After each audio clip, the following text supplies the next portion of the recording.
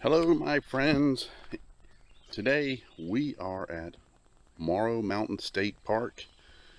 We haven't been here in a while. It's probably last winter, probably around February, and uh, I took you through here, and there was no leaves, of course, no canopy. But this today, we're gonna I'm gonna show you that, and uh, it's a lot of shade, which is good because today's gonna be in the 90s, high humidity. So come join me. All right, so let's go.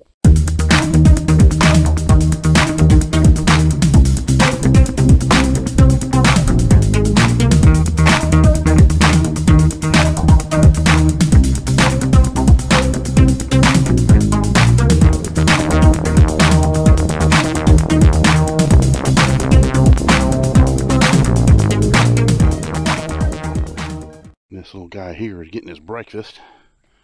Saw him on the trail. Hey, buddy. There he is there. You getting your breakfast? Yeah, you can eat up. There you go. Didn't want to walk on you. You're a cutie. You go ahead and eat your breakfast. So I'll have a link to my other excursion out here when it was still wintertime with no leaves, but this shows you the canopy here. And uh, it's pretty thick, as I suspected. And we might see some deer out here. I did see a little family cross the road as we entered the state park and uh, going into the woods here. So could run into them, don't know. But um, yeah, we'll see what we can find. We're gonna go deep, deep, deep into the woods and try to go to the river too.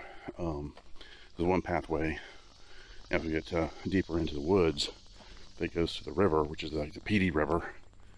And uh, it's really nice out here. And as I said before, um, you already, in this, and also Morrow Mountain, this area, just outside of Albemarle, is known for various sightings of Bigfoot, also known as Sasquatch. So, um, you never know what you might find. Like I said, last time we were here, we did find a footprint. And I'll share that with you as well. So let's head on into the woods. It's got great markings too on the main paths.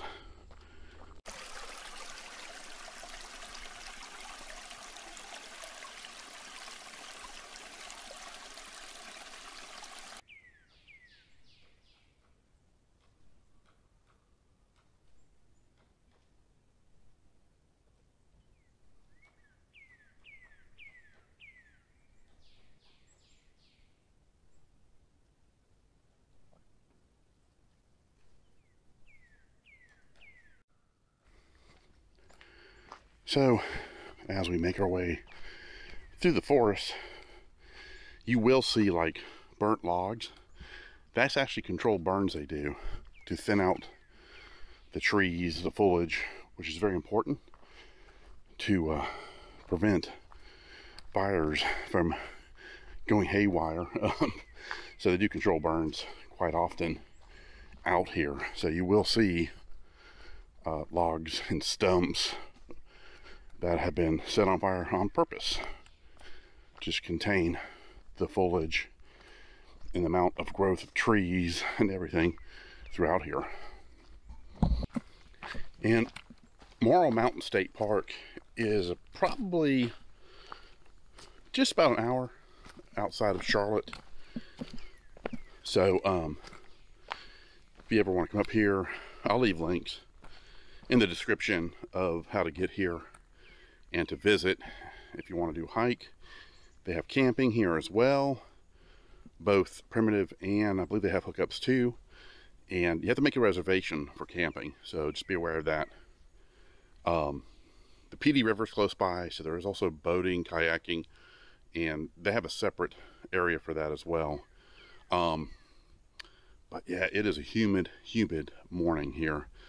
It's probably about 10:30, and uh, yeah, if you want to get out of town and enjoy this, this is just an awesome area to come. Just get out of the city or just get out in general. Come to Morrow Mountain State Park and uh, enjoy the scenery.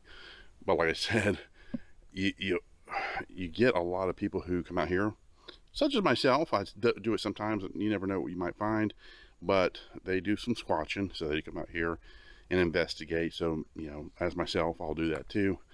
But I, I don't anticipate anything. Uh, be cool if it if something does happen. I can catch it on video. That'd be awesome. Uh, hopefully without the jittery and blurry screen. Um, so, but yeah, it's a lot of fun coming out here and uh, just enjoying nature in general. And like you saw with that little turtle, you know, finding stuff like that. That's just what makes these little hikes fun.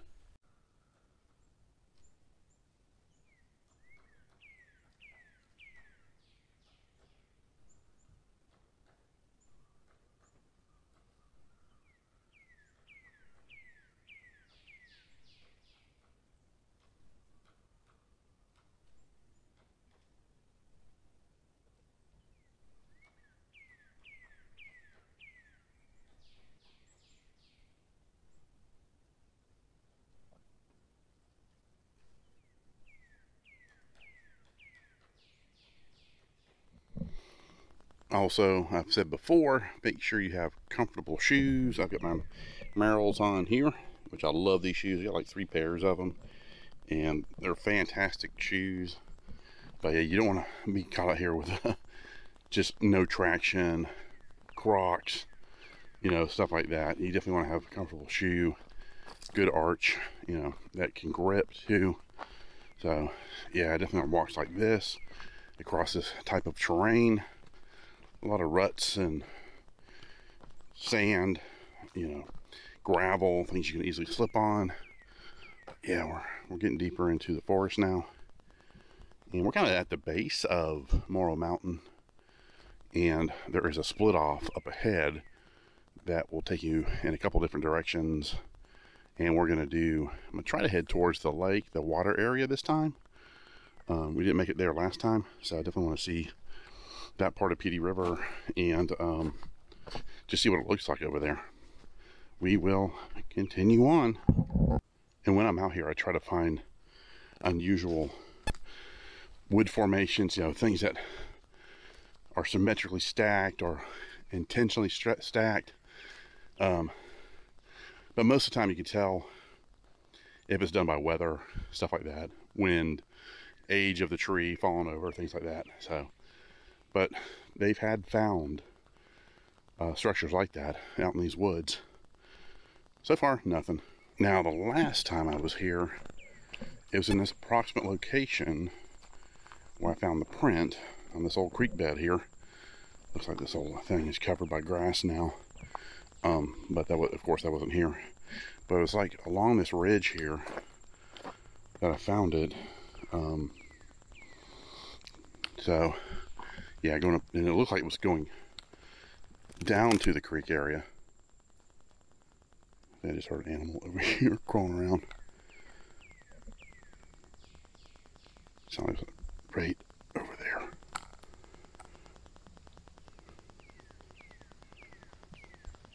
Hmm.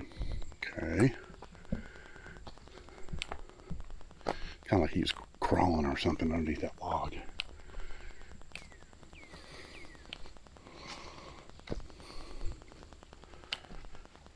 So we're heading up this hill. Nice little incline.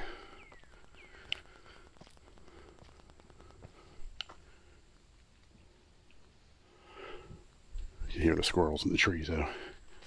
Getting their breakfast, getting their nuts and stuff, and breaking them up. A lot of times they'll drop them too. That's why people get mistaken like something was thrown at them. It's probably a squirrel in the tree getting a nut down from a, from a tree. So be aware of that too. Um, happens a lot. You get a lot of birds just getting on a, or a squirrel getting on a branch and branch comes tumbling down near you. You might think something's thrown at you. Raccoons do it, possum do it. So yeah, they'll they'll be up in the trees dropping junk.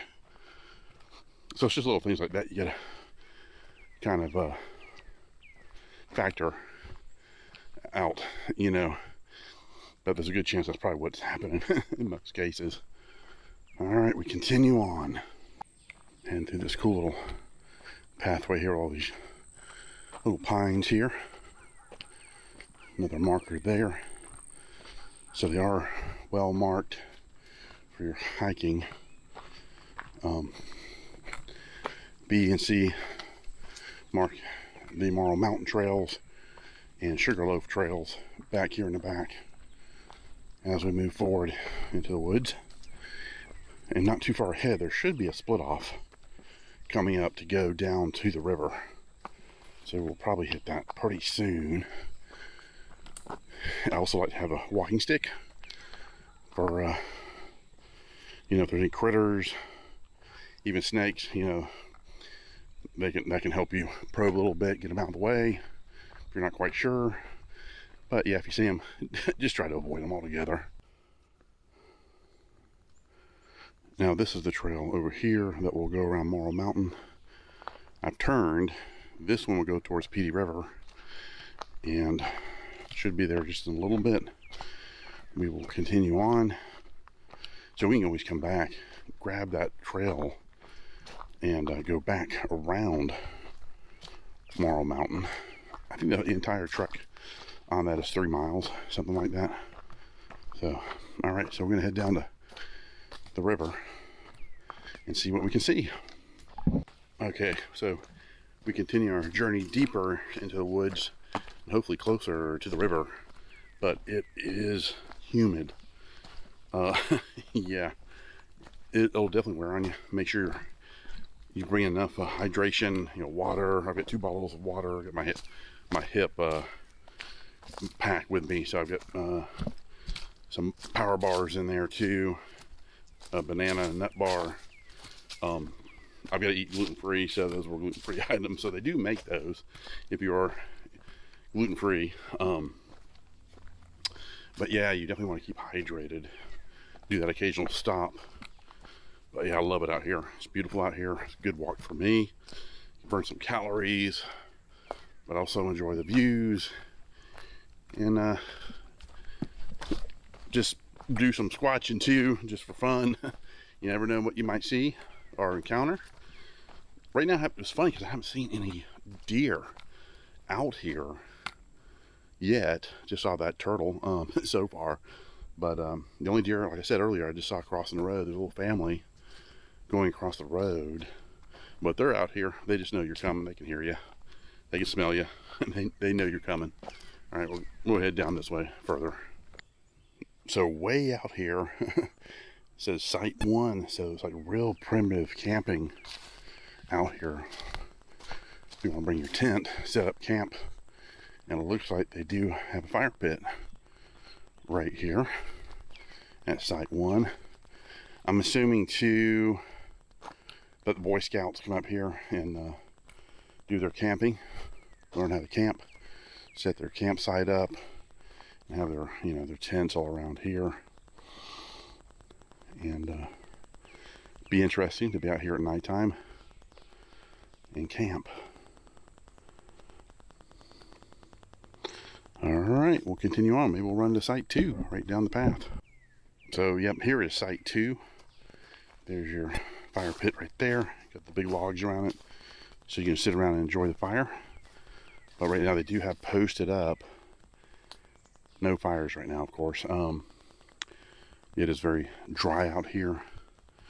Um, with the heat going in the 90s so quickly, it's just really dried out everything. So, yeah, no fires right now. Little structure down here. I'm to check it out. I'm not sure what that is.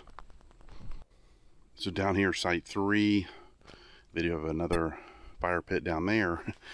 And yep, it's an outhouse. So if you need to use the John, they do have an outhouse up here. Um, it's not your everyday plumbing, of course. It's going to be uh, uh, just like an outhouse. yeah, we're going to kind of stand clear of that and uh, head down further, getting closer to the lake.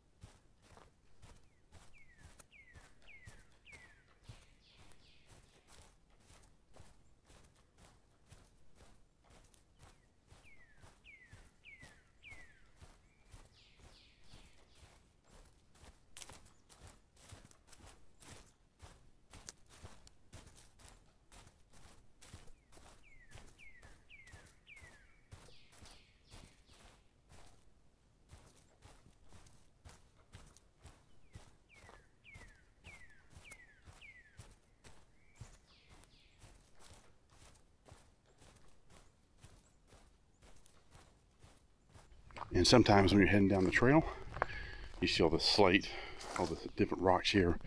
Sometimes you can find arrowheads. But a lot of times you there are a lot of times I'll find them down near the creek down there. But some yeah, all this different slate, different types of rocks, a lot of granite, uh, so, um, quartz, a lot of quartz, because of you get a lot of the gold mines that were were in this area at one time, and there's probably tons of gold still underneath here in this area. Most protected area, of course, state park. Um, but usually, when you see quartz stuff like that, uh, you can be sure that there, at one time, was gold nearby.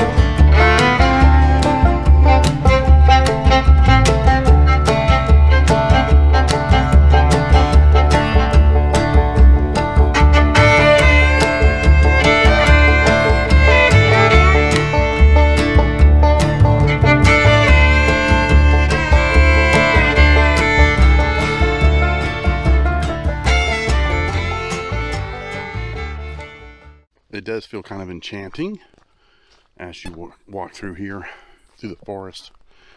Yeah just that feel to it like might see a fairy or a pixie or something running around or a unicorn or a bigfoot. Nothing so far. Not even your average everyday squirrel.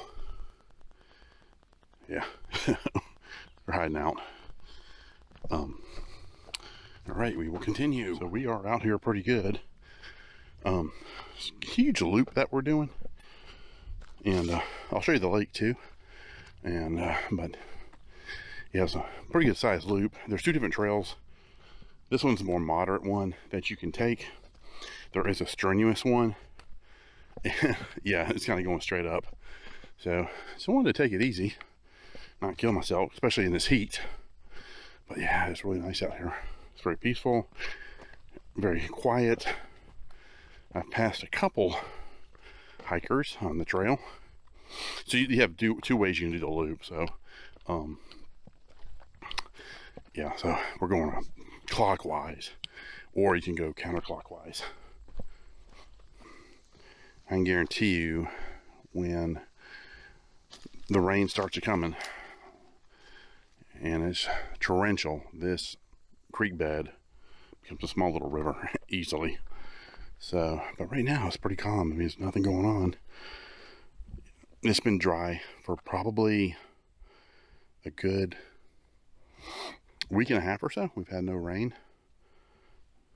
We do have a hurricane heading up the Gulf Coast, heading towards uh, Louisiana and Texas. So I hope uh, they do well. They say it might reach category four. That would not be good for that area.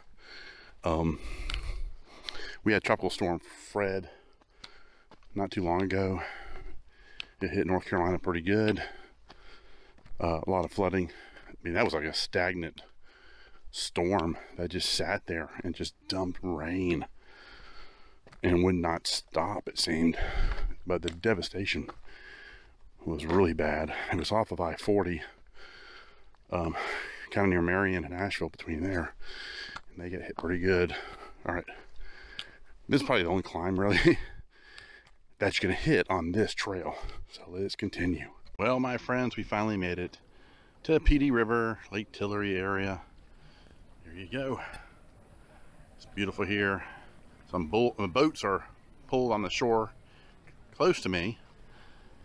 They're just chilling out on a summer day, swimming in uh, the river and in the lake. But yeah, uh, this is the Pee Dee River. A lot of history here. At one time, a couple hundred years ago, up to about 1923, there was a ferry boat that would cross here. You catch the ferry here, go across the uh, Pee Dee River, get on the other side before they had the bridge down the road going across. But yeah, they've had sightings of Mr. Squatch, Mr. Big the Foot along the river over here and on this side as well. Yeah, so it's a beautiful, beautiful area.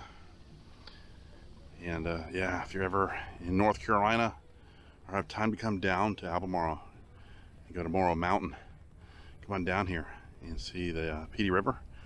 Take a nice hike on the trails, get your exercise. Yeah, it's been a great day. We're gonna call it a day. I am hot, I am sweating. It's probably about 100% humidity. It's about 95 degrees. It's crazy hot.